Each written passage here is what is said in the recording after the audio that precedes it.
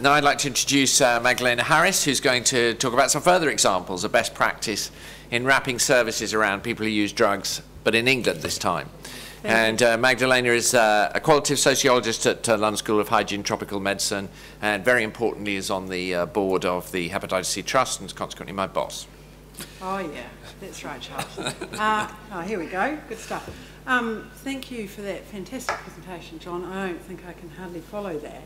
Um, but what I'm going to do is go into much more of a micro level and look at two services and the things they actually did in those services. So I'm not going to do my overview, I've only got seven minutes.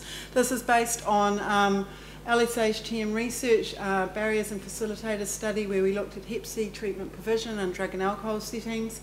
We looked at two London partnerships between um, drug and alcohol services, bloodborne virus nurse teams and hospital hepatology units. And we spoke to 35 people with Hep C, of, of whom 32 were on OST, plus service providers. And the people with Hep C were at a variety of different stages in their treatment journeys. Okay, so arising from the study and well evidenced in the literature, and as you would have heard Jon say, there are multiple barriers associated with hospital-based Hep C treatment for people who inject drugs. These include complex referral and appointment systems, lengthy waiting times, rigid do not attend policies and eligibility criteria, distance, unfamiliarity, stigma and discrimination. So I, a lot of people I've spoken to in this study and in other studies have said they've had previous negative experiences in the hospital setting and they will not contemplate going there for hepatitis C treatment. So as Len here says, I wouldn't have gone to hospital for hep C treatment. I was really badly treated. I know lots of people have been treated abysmally down there. So in response to these barriers, there's been a move in the UK and in other countries to bring hepatitis C treatment into community settings.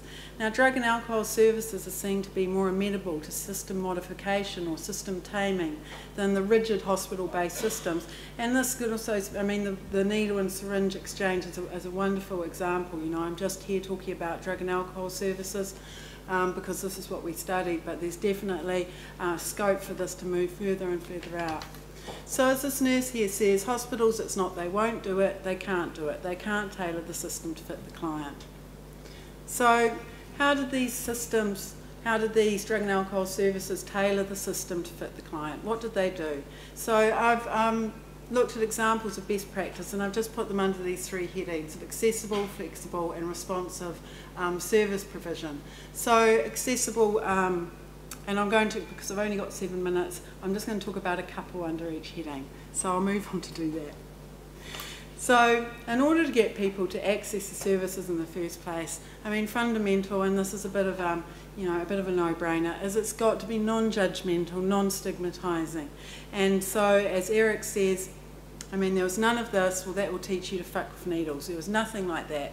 I wouldn't have gone to that service if it hadn't been for her, so that's something in itself. So what we found is individual um, service providers who provided continuity of care, were very non-judgmental, very friendly. They enabled the building of trust and the ability to start these conversations around hepatitis C, hepatitis C treatment, and for people to actually consider going back to that service and starting up this treatment. Also important were that the service was familiar. People were used to going there, getting their OST, um, and they were, they were convenient. If they were multidisciplinary, then they were able to deal with people's needs in a, in a one-stop shop sort of environment.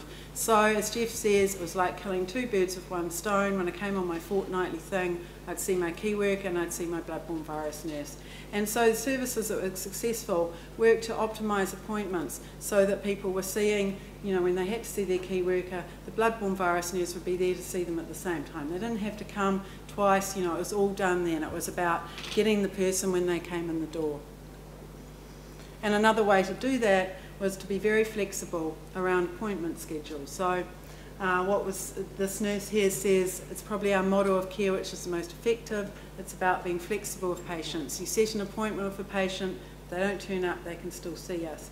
So a lot of people falling out of the hospital system because of um, DNA policies. If you didn't come for X amount of appointments, that was it. You were back to scratch again. And this is a fundamental barrier for many people who are using. Also, um, vitally important was eligibility.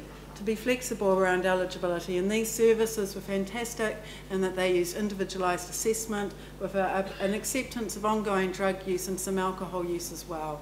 So as the consultant psychiatrist here says, don't care if they're injecting or not injecting, don't care if they're on methadone injecting, etc. We will treat them. And responsive. Many people who are using have other more pressing concerns. Hepatitis C isn't a priority.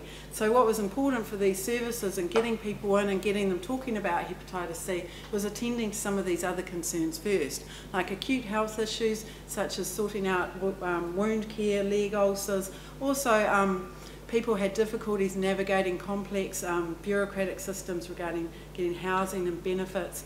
So for key workers to help them do that, that enabled trust and enabled conversations about other matters like hepatitis C. Also very important was on-site phlebotomy of relaxed protocols that was non-stigmatising and collaborative. For testing, sure, you can use dry blood spot testing, but um, phlebotomy was a major barrier for people to contemplating treatment because you have to take whole blood for treatment. This was an issue, and so it definitely had to be on-site and, um, and relaxed protocols so people could go for blood in the, in the jugular or the in, um, in the femoral vein and maybe let the service users get it themselves if that's what they preferred.